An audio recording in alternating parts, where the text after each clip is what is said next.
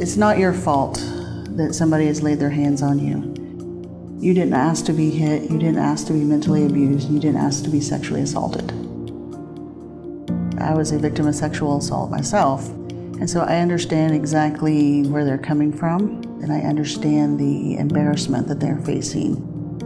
Ballroom dancing gives me an outlet that I can just go and let everything that's been weighing on me that day, I can just let it go.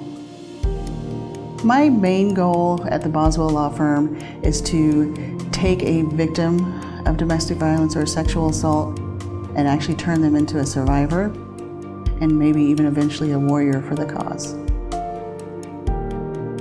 Every day that I wake up is just a blessing and an opportunity to experience new things. Being out on the water is, to me, the most peaceful place. It's a place where I can completely shut my mind off and enjoy the waves and the water. I was in a very unhealthy marriage. When I decided to leave, I knew that it was going to be a difficult divorce. It wasn't going to be easy.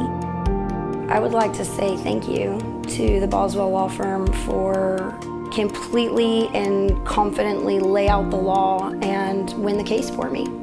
I would absolutely recommend the Boswell Law Firm. They're professional, knowledgeable, and I trust them very much. The biggest thing that I love about my life is my family. I have two beautiful children. I love to crochet, knit. I actually do like to coupon, so that takes up a lot of my time as well. I was involved in a pretty heated custody battle, and I've been fighting what a lot of other attorneys said was an impossible battle. Then I met Duana. She took my case when nobody else would.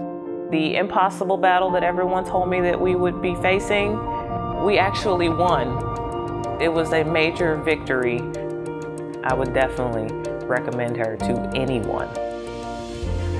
Ballroom dancing, very much like law, is very technical, and each step has to lead to the next. You have to take the first step before we can take a second step. And it even correlates to a victim becoming a survivor one step at a time. I know coming to see an attorney can be very, very daunting and scary, but just take the leap and go. Get the help that you need and move on with your life.